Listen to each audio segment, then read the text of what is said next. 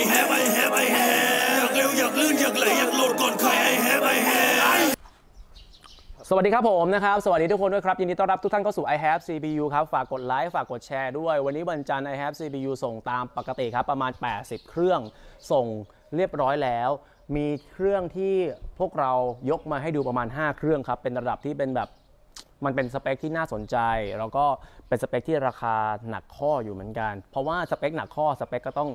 ข้างในนั้นก็ต้องดีตามสเปคตามราคาที่มันขึ้นสูงไปด้วยกันนะครับ แต่อย่างที่บอกครับ I have CPU ทุกทำทำทุกราคานะครับ 13,990 ก็ไลฟ์สดให้ดูแล้วนะครับ ผมเองพยายามที่จะทำทุกสเปคทุกราคานะครับ ดังนั้นเครื่องที่ไลฟ์อาจจะมีเครื่องที่ราคาไม่สูง แต่เครื่องที่ราคาไม่สูงนั้น อยู่ตรงนี้หมดแล้วก็คือเครื่องพร้อมจออย่างนู้นอย่างนี้นะครับ เครื่องพร้อมจอจะอยู่อย่างนี้ทั้งหมดอย่างนี้ฮะนี่แนวนี้ทั้งหมดครับ ถ้าจะให้ผมไลฟ์สดทุกเครื่องนี่คงไม่ไหวนะครับ ดังนั้นเนี่ยผมเลยเลือกเครื่องที่มันสวยให้ทุกคนได้ดูแล้วกันนะครับ ดังนั้นเนี่ยผมบอกเลยว่า I have CPU ทำเครื่องราคาที่มันไม่สูงได้นะครับเอ้ยเครื่องทำเครื่องราคาที่มันสูงได้ I have CPU ก็สามารถทำเครื่องได้ทุกราคา ของใหม่ทั้งหมดประกัน 3 ปีเต็มจะซื้อพร้อมจอซื้อพร้อมข้าวซื้อพร้อมปลั๊กหรือซื้อพร้อมอะไรก็ตามก็สามารถที่จะซื้อได้นะครับ จอแยกทุกอย่างแยกได้หมดนะครับ แต่การ์ดจอน่าจะไม่การ์ดจอตอนนี้มันมีน้อยนะครับโอเคเนาะฝากกดไลค์ฝากกดแชร์ให้ I have CPU ด้วยนะครับโอนเต็มจำนวนลด 3%เหมือนเดิม เก็บเงินปลายทางได้ ผ่อนชำระผ่านบัตรเครดิต 0% 10 เดือนผ่าน Lazada ผ่าน Shopee ผ่อนโดยไม่ใช้บัตรเครดิตผ่าน d i s h o p รวมถึงแอปอย่างเงิน Thunder นั่นเอง ได้หมดที่ I have CPU ถ้าคุณต้องการที่จะสั่งซื้อนะครับส่งทั่วประเทศนะครับ 77 จังหวัดรวมถึงประเทศลาว ก็ส่งนะครับ ดังนั้นเนี่ยไม่ได้จำกัดว่าจะต้องส่งแค่นครนายกอะไรเงี้ยประกอบให้ดูแลบริการหลังการขายให้ทุกอย่างตามมาตรฐานของ i have CPU นะครับอย่างที่ผมบอกนะครับผมเปิดมา 8 ปีแล้วนะครับดังนั้นเนี่ยไม่มีปัญหาแน่นอนผมเองทำงานออนไลน์มาตลอดนะครับส่งออนไลน์มาตลอดดังนั้นเนี่ย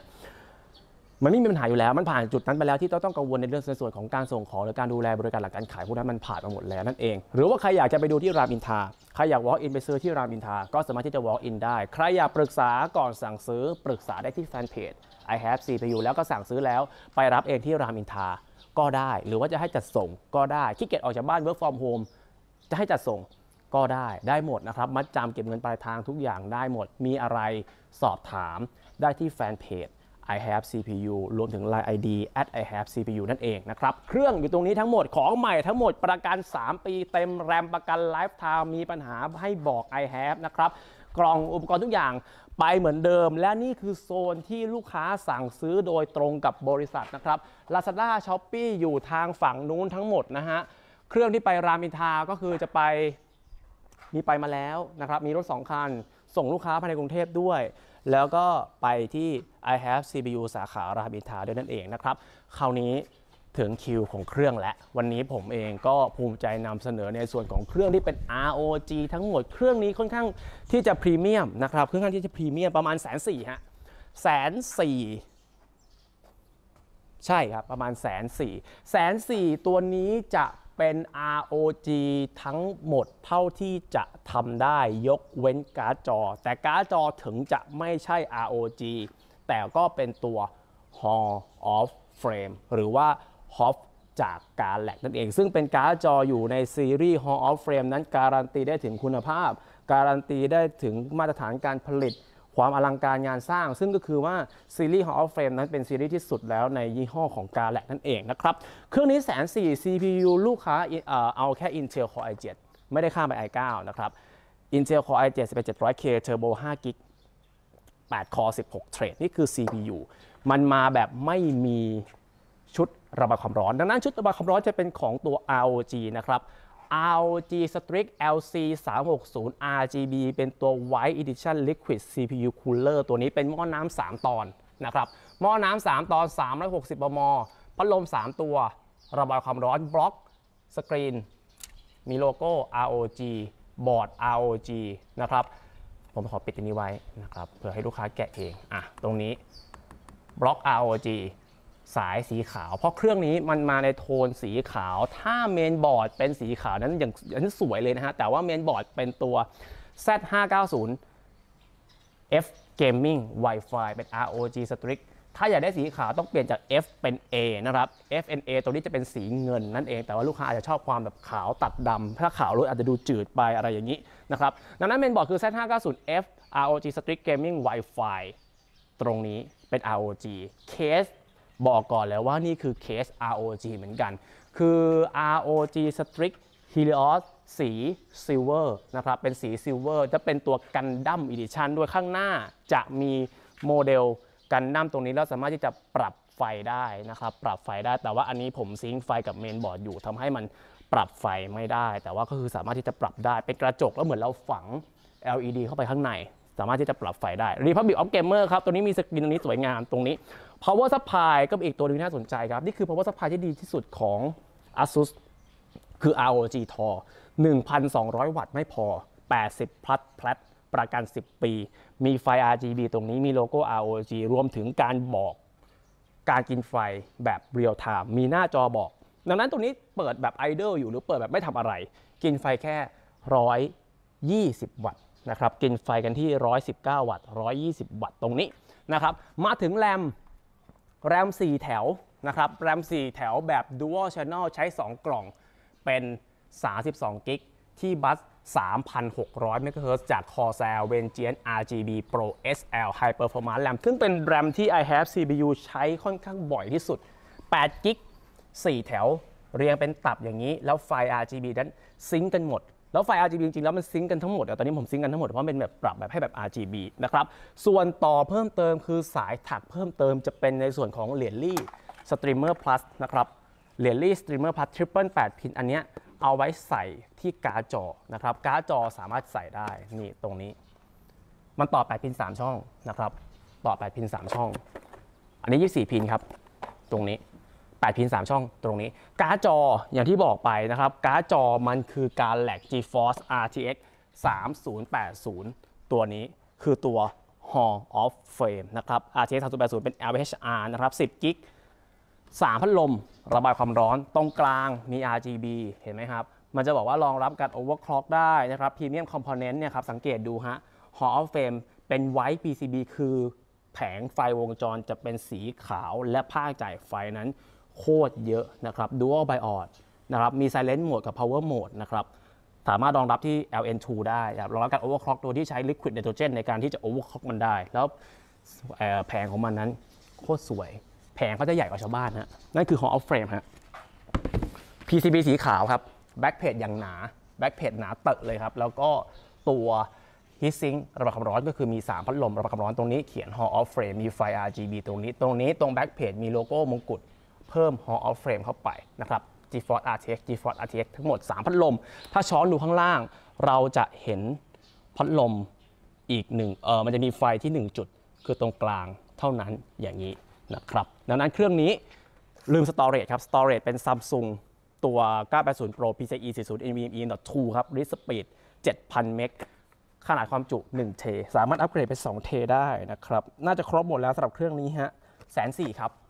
drop สเปคได้ตามต้องการครับ พอมาถึงเคสนี้ครับ เป็น Thermaltake Core P6 แต่ว่าลูกค้านั้นไม่ได้เพิ่มอะไรเลย ดังนั้นเนี่ยเขาชื่นชอบในความเป็นตัวเคส ถามว่าเราติดพัดลมเพิ่มเติมได้ไหม ติดได้ครับ ตรงนี้ติดได้เป็นแถบครับ 3 ตัว ตรงนี้ก็ติดได้เป็นแถบอีก 3 ตัวตัวนี้ก็ติดได้ ดังนั้นพัดลมจะใส่ได้อีกประมาณสัก 7 ตัว บางคนอาจจะบอกว่าเฮ้ยทำไมลูกค้าชอบนะครับ ลูกค้าเขาชอบ แล้วทำไมลูกค้าไม่ซื้อพัดลมเพิ่ม อันนี้ก็แล้วแต่ลูกค้านะครับทำไมลูกค้าไม่ซื้อบอร์ดใหญ่ อันนี้ก็ต้องถามลูกค้านะครับ ผมเอง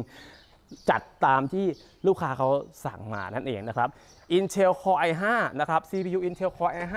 11404.4 GHz Turbo 6 Core 12 เทรด Generation ที่ 11 4.4 นะครับ ระบายความร้อนด้วยชุดน้ำตัวใหม่จาก Thermaltake คือ Thermaltake Tough Liquid Ultra 240 All in One Liquid CPU Cooler แล้วมีจอนะครับ นี่คือรุ่นของ Thermaltake ที่มีจอบอกอุณหภูมิเห็นไหมฮะ Temperature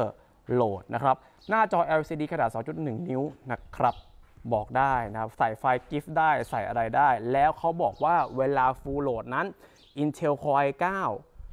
at 4.7กิก100%โหลด ถ้าเป็น Intel Box Cooler Intel Stock Cooler นั้น 94 องศา ไอ้ทับ Liquid Ultra 240 เนี่ยทำความเย็นได้แค่ 68 องศา นั่นหมายความว่ามันเย็นกว่า ตัว stock cooler ถึง 30 องศา เกือบ 30 องศา ดังนั้นนะครับตัวนี้เป็นหม้อน้ำ2ตอน 240มิลลิเมตรตรงนี้มีตัวบอกอุณหภูมิอย่างนี้นะครับเป็นรุ่นใหม่ที่บอกจอของ Thermaltake เองนะครับเมนบอร์ด Gen 10 RAM 16 การ์ดจอเป็นตัว Zotac Gaming GeForce RTX 3060 192 บิต power supply 750 วัตต์ 80 ทัชจาก Thermaltake SSD 480 GB Hard Disk Drive 1เทดังนั้นเครื่องนี้ประมาณสัก 60K นะครับ เคสมันหนัก มันหนักที่เคส ลูกค้าอาจจะมีชุดน้ำอยู่แล้ว ลูกค้าอาจจะมีพัดลมอยู่แล้ว ลูกค้าอาจจะไม่เอาอะไรเลยก็ได้ อันนี้ต้องแล้วแต่ลูกค้าในการตัดสินใจเลือกเคสนะครับว่าลูกค้าจะเอาเคสตัวนั้นตัวนี้เขาอาจจะชอบในความที่เป็น P6 ก็ได้นะครับ แล้วก็ฝากชุดน้ำตัวใหม่จาก Thermaltake ไปด้วยนะครับทับ Liquid Ultra 240 ครับ บอกอุณหภูมิแบบ real time อย่างนี้คือบอกอยู่ที่ 41 องศา temperature CPU สามารถปรับไฟได้ผ่านซอฟต์แวร์ของตัว Thermaltake นั่นเอง คราวนี้นะครับประมาณ 70 ถ้าประมาณ 70K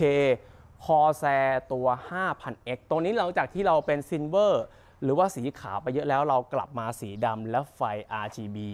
ไม่ค่อยเยอะกันบ้างฮะ จะมีแค่3จะมีแค่พัดลมที่มีไฟ RGB ครับคอแซ 5,000X ซีรีส์นี่คือคอแซ 5,000X สีดำตัวที่ดีที่สุดของ Corsair ใน 5,000ซีรีส์เพราะว่าข้างหน้านั้นเขาจะเป็นตัว Tempered Glass แบบนี้นะครับ3พัดลมระบายความร้อนแถมคอแซ SP 1 2 0 3ตัวให้มาเรียบร้อยแล้ว CPU AMD Ryzen 7 5800X 4.7 GHz MacBook 8คอ16เทรด Mainboard MSI X 570A Pro RAM ไม่มี RGB จาก Kingston ตัว Fury นะครับ ตัว Beast ตัวนี้บัส2666 ใส่ 4 ใส่ 2 กล่องครับ 4 ตัว 32 กิก บัส2666 Dual Channel การ์ดจอเป็น Zotac Gaming GeForce RTX 2060 Power Supply FSP Hydro G Pro ครับ 750 วัตต์ 80 plus Go ประกันให้ 10 ปี Storage เป็น WD Black SN 750 ครับ ขนาด 500 กิก Read Speed 3 4 30 Windows 10 Pro แท้ Office แท้ทั้งหมดนะครับและนี่คือให้ไปอย่างนี้ทั้งหมดเลย ชุดน้ำระบายความร้อนจะเป็นตัวใหม่ก็คือ Arctic Liquid Freezer 2 240 ARGB ชุดน้ำ2 ตอน 240ม ARGB ประกัน 6 ปี และเป็นรุ่นที่เป็น ARGB ปุ๊บคือเป็นเป็นรุ่นใหม่ ปกติแล้ว Arctic เขาจะไม่มีพัดลมแบบ RGB ตอนนี้ทำแบบ RGB เรียบร้อยแล้ว แล้วปกติถ้าเป็นแบบ Liquid Freezer 2 240 ไม่ได้ลงท้ายด้วย ARGB เขาจะแถมตัว Thermal Pass เป็นตัว MX4 แต่ว่าอันนี้อัปเกรดไปเป็น MX5 เรียบร้อยนะครับ จะมี RGB นี่ฮะ เห็นไหมรุ่นใหม่ ประกัน 6 ปีนะครับหม้อน้ำก็จะตรงนี้หนาเหมือนเดิมฮะหนาเหมือนเดิม 2 พัดลม ระบายความร้อนทุกอย่างเหมือนเดิม Cable Management เราสามารถใส่สายแค่ตรงนี้แค่อันเดียวนะครับสายจำแค่ไฟแค่ปุ๊บเดียวแล้วพัดลมทุกอย่างปั๊มพัดลมระบายความร้อนทุกอย่างทำงานตามปกติทั้งหมดฮะเนาะถ้าเครื่องแน่นๆอย่างนี้ 58,000นะครับ58,000 CPU Intel Core i7 11700KF Mainboard Z590 Prime อันนี้คือเกือบจะเน้น performance อยู่แล้ว แต่ว่าเขาเพิ่มในส่วนของชุดน้ำนั่นเอง ชุดน้ำ2ตอน Cooler Master Master Liquid ML 240ตัว Illusion นะครับ RAM 16 g b การ์ดจอเป็น 3060 จาก Inno 3D GeForce RTX 3060 ตัว Twin X Twin X2 นั่นเองนะครับอันนี้คือประมาณสัก 58,000สามารถ drop ลงได้ครับ ถ้าลูกค้าต้องการเป็น i5 หรืออะไรอย่างเงี้ย drop ลงได้นะครับ drop ลงได้ นี่คือ i7 700KF Asus Prime Z590P RAM 16 3060 ครับ WD Black SN 750เครื่องนี้น่าจะเป็นเครื่องโปรโมชั่นหรือเปล่าที่ผมไลฟ์สดไปนะครับ58,000 WD Black 500 GB SN 750นะครับ ชุดน้ำ2ตอนเรียบร้อย อะ ปิดท้ายกันด้วยนะครับ i5 เครื่องนี้มัน 40 กว่าปะไม่เกิน 47นะครับ47 Cooler Master MB 540 นะครับ CPU Intel Core i5 11406 Core 12 Thread 4.4 GHz ระบายความร้อน Sync Stock Cooler ไม่ได้ใช้นะครับ ใช้ Cooler Master Hyper H410R ตัว RGB นั่นเอง เป็นพัดลมแบบ PWM ด้วยขนาด 90 มิลลิเมตรสำหรับพัดลม แต่ว่ามีฮีทไปถึง 4 เส้น เมนบอร์ด Asus Prime B560 MK RAM 16 g b จาก Kingston Fury การ์ดจอเป็นตัว 6600 XT จาก Asus ตัว Dual นั่นเอง 2 พัดลมระบายความร้อนครับ แต่มันคือ 6600 XT ผมทดสอบแล้ว มันเล่น Full HD ได้ทุกเกมอยู่แล้ว 2K ที่ผมทดสอบคือแทบทุกเกม มันสามารถเล่นได้นะครับ จ่ายไฟด้วย FSP Hydro G Pro 750 วัตต์ 80 plus Go ประกัน 10 10 ปีนะครับ ประกัน 10 ปี ตรงนี้ WD Blue SN50 ขนาด 500 กิก Read Speed 2,400 เมกเรียบร้อยนะครับจาก i have CPU อย่างนั้นเนี่ยอย่างที่ผมบอกฮะไม่ว่าจะถูก ไม่ว่าจะแพง ไม่ว่าจะราคาเท่าไหร่ ไม่ว่าจะสเปคเบา